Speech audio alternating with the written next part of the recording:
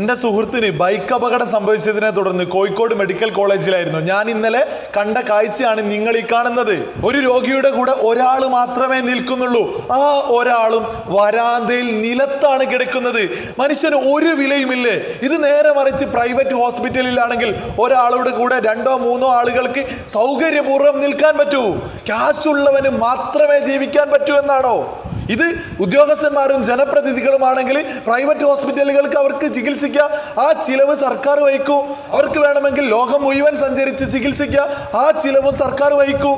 ഇവിടെ സാധാരണക്കാരന് ഒരു വിലയും ഇല്ലെന്നല്ലേ ഈ കാണുന്നതിന്റെ അർത്ഥം?